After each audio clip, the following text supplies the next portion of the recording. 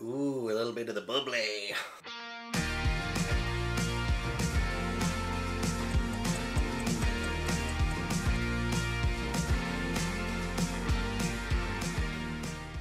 Hi everyone, welcome or welcome back to How to Train Your Gavin. How are you doing? I hope you're doing well. Today I'm going to be going through my worst books of 2022. I did just do my best books of 2022, so if you think I'm just being a negative Nancy, well do check out that video as well. I'm a lot more upbeat and positive. Prefacing this by saying if you're an author, please click out. This is not for you, this is just for reviewers who just want to know what I disliked this year. And who knows, maybe you will find some recommendations from this video. Just because I didn't like it doesn't mean you won't. Plus I apologise as well if I talk about your favourite book in this video I promise I'm not trying to upset you. I just didn't vibe. I didn't vibe with it. I will give you all my reasons why I didn't like any of these books that are in this video. Also, I don't own any of these books anymore, apart from one. A few of them I did get from the library, so they have been returned, so I won't be holding any of them up in this video apart from one. So Editing Gav has a job on his hands.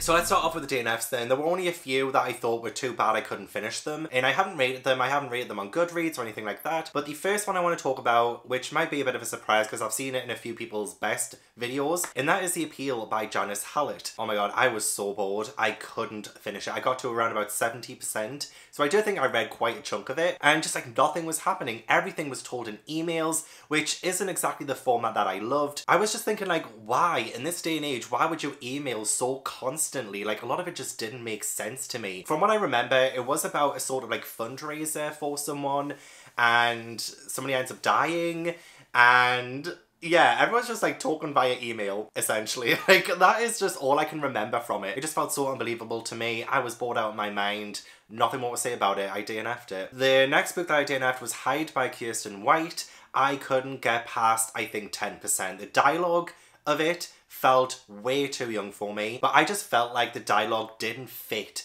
with the overall tone of the book. It felt very young. So it was clashing with what the author was trying to do with the plot. So I didn't get far enough for me to really get a sense of the plot itself, but it was supposed to involve people going to this amusement park and playing a game in order to win a lot of money, but it does take a dark turn. I'm sure the plot did get better, maybe the dialogue did, but I just found the dialogue was just far too cringy for me to continue on. And I wasn't going to waste my time with that, no sir. One that I wasn't going to mention, but I might as well, but I did DNF Fifty Shades of Grey by E.L. James. I was going to read it because I accidentally booked one of the lowest rated hotels in London when I went down there back in May. And I thought, oh, let's make a vlog out of it. Let's read the lowest rated book on my TBR in the lowest rated hotel in London. And I started filming that vlog while I was there and I got partways through Fifty Shades of Grey and I was like, this is rubbish. This is like absolutely rubbish. Not just the book, but the vlog itself. I was like, I can't post this. So I decided to scrap the vlog. I decided to DNF the book and I've been better for it. I don't think Fifty Shades of Grey needs any kind of introduction, in all honesty. To be fair, the movies are a little bit of a guilty pleasure for me. I did go and see every single one in the cinema, but I never read the book, so I was like, who knows, maybe I might like it. But turns out I did not. I just, I, I couldn't do it. I couldn't do it to myself. So getting into the books then that I did actually finish, and I feel like I can give a genuine review and an honest rating on it because I read it cover to cover, so I got the full picture. The first one I want to mention is Legally Blonde by Amanda Brown. Oh my gosh. Legally Blonde is one of my favourite movies, right? I love it so much. It's so fun. The musical as well, absolutely adore the musical. The book, Legally Blonde, was illegally boring. It drained all of the fun and the colour from the movie and the musical and made it so incredibly grey. And it got to a point where I was like, is this even Legally Blonde anymore? I feel like we all know from the film that Elle Woods is a really driven character and she's so misjudged and she has this really big character arc where she really puts herself into learning at law school and really coming out the other side a total winner. And she's looked at as an underdog character who goes the full mile. In the book, she's not as driven. She feels like it almost feels like she doesn't really care that much and it got way too clinical for me as well. The book itself is based on Amanda Brown's experiences at Stanford University but I feel like it got to a point where it got way too technical and for that reason it really did take away all of that fun and energy that we get from the adaptations. There were a lot of things that the movie changed that were way better as well. There's no Emmett in the book either so Elle doesn't really have this side storyline of a romance blossoming and you could really feel the hole that that left because it made Elle well, almost like she wasn't the same character. She didn't really get the development that the adaptations gave her, and it's definitely a huge case of where the movie is better than the book. 100%. Reese Witherspoon in that role brought it to life. Elle Woods is lifeless in the book. I'm so glad I read it so I could get that off my chest because I always wanted to read it ever since I found out that Legally Blonde was based on a book. But now I'm telling you guys, you don't have to read it. You really don't. Avoid. Okay, next is One by One by Ruth Ware. Now, I think in my original blog series where I read BookTube's most hated thrillers, I said, I don't hate this book, I'm just bored by it. I mean, that's technically still true. I was bored to tears of it, and I don't exactly hate it with a passion, but I did want to mention it because this is my first Ruth Ware book, and oh boy did it disappoint. And I know that's on me because I started with the one that a lot of people don't really like, or at least there are people who do like it, of course. But like, I feel like it was one of those ones that I think is kind of universally accepted as not the best Ruth Ware book. And I did try and correct my wrongs in the Giving Four Thriller Authors a Second Chance blog, and Ruth Ware still didn't quite deliver like I wanted her to. But one by one, I'm telling you, Ruth Ware got an email from her agent and she said, Give me 90,000 words of absolutely fucking nothing, and I want this one draft in one night. And that's exactly what Ruth Ware did. She gave her one draft in one night where absolutely nothing happened. The premise was so good. I love the idea of a ski resort and it being isolating and people dying, but my gosh, how can you take that great premise and make it incredibly boring?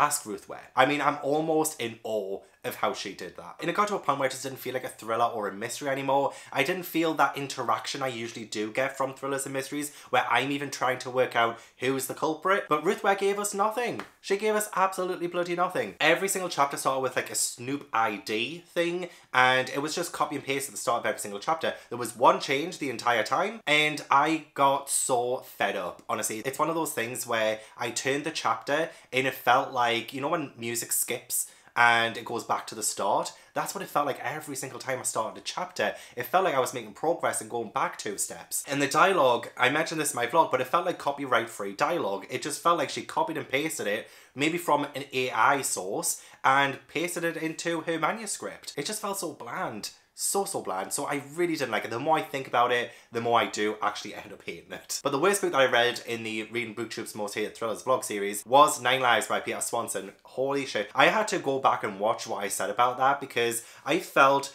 this huge burning hatred for it that it blinded me in my opinion on it. And I was like wait what did I think of that again? Because I had tried to forget. My brain was like please scrub me with bleach. I don't want to remember this book ever again. So unfortunately I did have to rewatch that little segment of my series in order for me to get triggered. Nine Lives was essentially an Agatha Christie ripoff.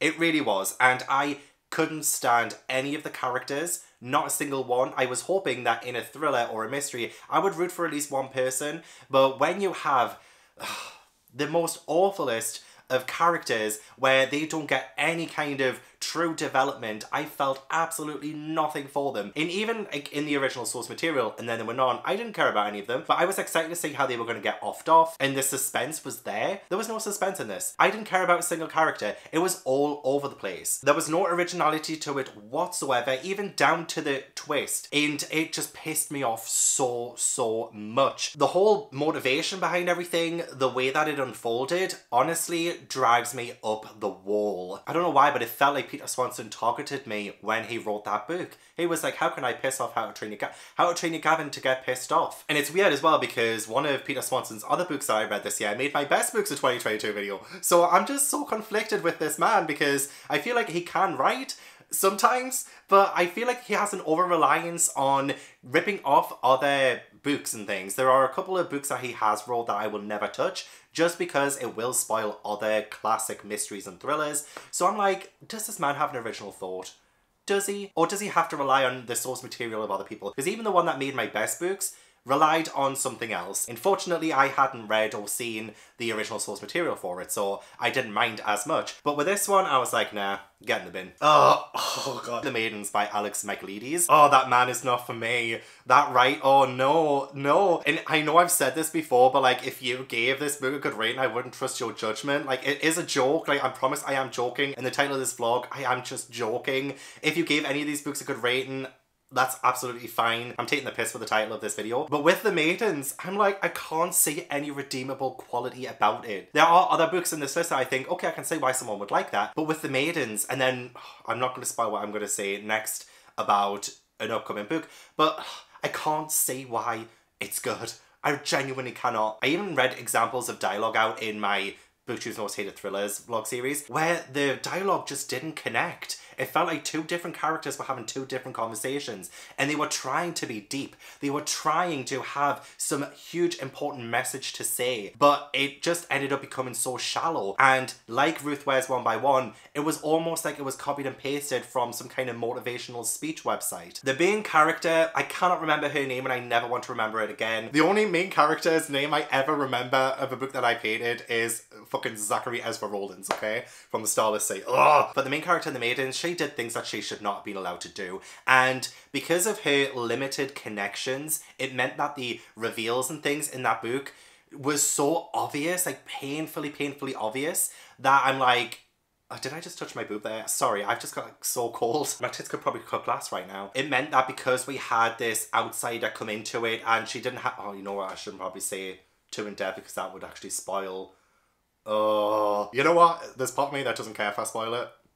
I've said it. I'm sorry. I'm sorry. I'm not gonna say it right. I'm not gonna say anything else about the plot of the maidens, but it's shit. Okay, just take my word for it. It's shit. So the next book that I really didn't like was The Silent Patient by the same man. Ugh. And I feel like maybe I did like The Silent Patient just that tiny little bit more, but there were still so many things, so many plot holes, so many things that shouldn't have happened that happened. And these thrillers, these mysteries are supposed to be as realistic as possible, right? I'm not reading fantasy here. I'm not reading fantasy, but it seems like Alex Michaelides doesn't understand the concept of fantasy and a genuine depiction of real life. Like this could actually happen. And I don't really talk too much about the plots of these books because half the time I've kind of forgotten. But this one, it does follow someone called Alicia. I do remember her name. And she kills her husband. Because I remember I really enjoyed the start of it. I was like, oh, this is so intriguing. She killed her husband, no one knows why, and she stopped talking afterwards. So she gets assigned a psychotherapist called Theo and things happen from there. And again, I haven't read that many thrillers, I haven't read that many mysteries, but wow, it was again so obvious from the way that Alex Michaelides presented this story. I was like, there's genuinely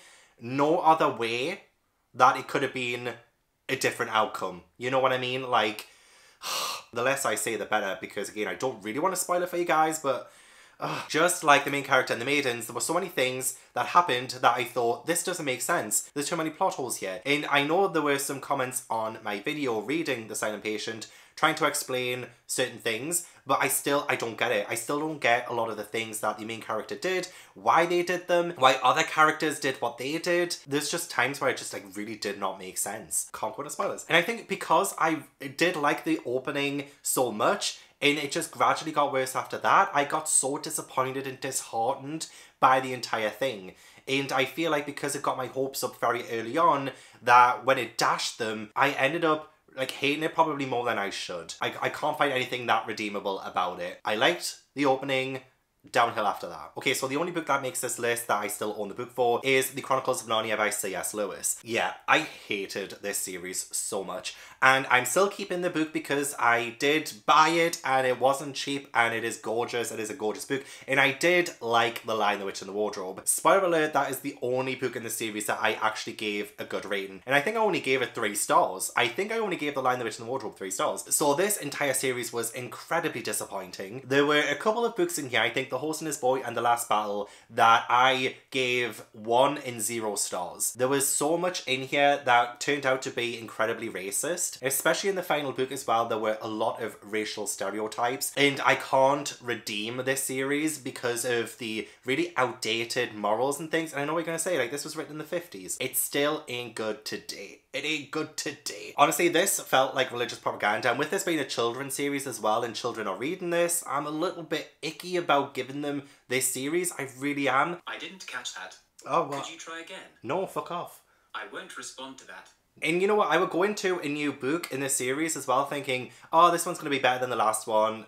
I was wrong. And you know what? Half of these weren't even as whimsical or as magical as I was hoping for. A lot of them turned out to be incredibly dull, and I just don't know how this holds anybody's attention who is under the age of 10. And I mean, I'm sure it does. I mean, of course it does, because this is one of the most popular children's book series of all time. So of course it does. But I'm just sitting here scratching my head like, now I've read the entire series, I still don't get it. Did get a good vlog out of it, I will give it that, but that's the only good thing about reading the series. This brought about the birth of Daddy Aslan. If you're thinking about reading the Chronicles of Narnia in this day and age, don't. The next one is The Witches of Eastwick by John Updike, another one where the movie was way better than the book, and I really didn't gel with how the story was presented. I didn't feel like it was the right decision for John Updike to write this story. I feel like that might be a little controversial, but I didn't think he could write women well. There was a lot of like sexualization of them in the most weirdest of ways and it just made me so uncomfortable to read. The Witches of Eastwick does follow three women who live in Eastwick and this man comes called Darryl Van Horne and he is like tempting these women into using their magic and stuff. And The Witches of Eastwick is probably one of my favourite films. It really is and I feel like it was only made good, like the story itself was only made good and the characters were only likable through the portrayals by Cher, Susan Sarandon, Michelle Pfeiffer and Jack Nicholson. They really made the story actually good. It was nice to see some parallels to the movie though. I did think there was some parts of it where I was like, oh, this is like pretty good. You know, I like the way that this is written and, and stuff like that. But then he would just fall apart when it came to the characters and I can't get on board with it when the characters aren't good. Their likability was stripped from them. They were robbed of their personalities as soon as John Updike picked up a pen. And I don't think I will ever read another book by him again. And you know what as well? The Witches of Eastwick is one of my lowest rated according to Goodreads and I knew that for the past like couple of years since I had this book on my TBR but I always thought oh maybe it's just because it's a little bit older maybe it's just the writing style that doesn't gel with people but no that isn't the case at all sometimes there were moments of brilliance in the writing style but then I just feel like he shouldn't have wrote this.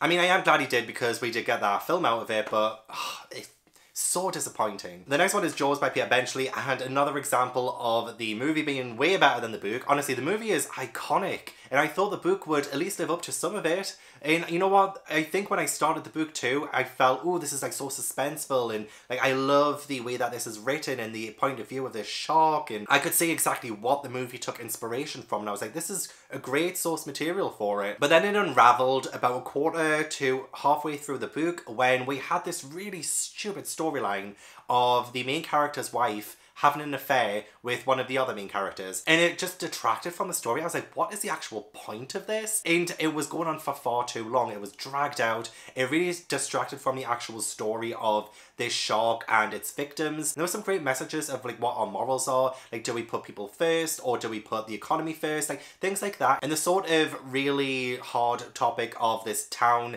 this really small seaside town, being dependent on their tourism and what it will do to them if something like these shark attacks become worldwide news. So like it was really interesting to look at that. But then uh, the whole affair thing was just far too distracting and it really dragged the book so far down for me and then I just don't feel like it had that great of a conclusion. It just seemed to end and I was left feeling so disappointed. The movie is ingrained in my mind because it scarred me as a child. The book kind of ruins it a little bit, not gonna lie. But we had something that could have been so fantastic and it just wasn't. The last two books I'm gonna mention are just like two really poor mangas that I thought were really creepy and they, oh, they were absolutely just disgusting and they are Wild Wild Wildlife and Grey's Anatomy. Both of them had material in it that I don't think is appropriate and really disgusting and vile. Please, please, please avoid them. I, I know I kind of joke about some books earlier like oh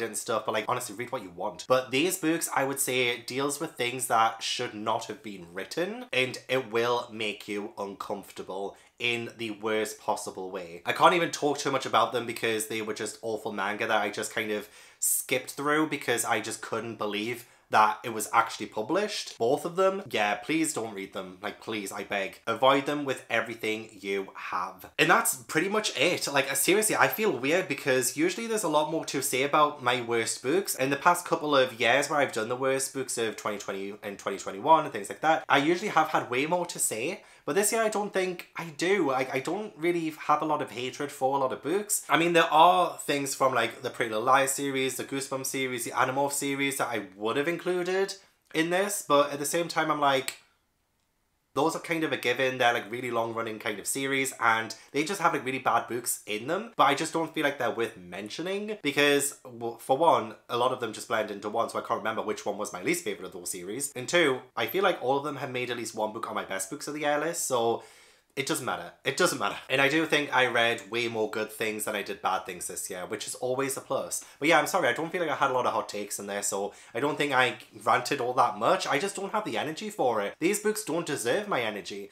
And I'm not going to give it to them. I'm not going to give it what it wants. So that's the end of the video. Thank you so much for watching. I really appreciate it. Don't forget to leave a like if you enjoyed and subscribe if you haven't already. Leave all the comments down below. Do you agree with anything I said? Do you disagree? Let's have a chat about it. What are some of your worst books of the year? I would also love to know that. I want to give a huge thank you to my patrons who support my channel. If you'd like to join my Patreon or follow me on any social media, then all the links are down in the description box. If you fancy going to Japan with me, there is also a link down in the description box for that too if you want to check it out. But yeah, thank you so much for watching and I hope I will see you in the next video.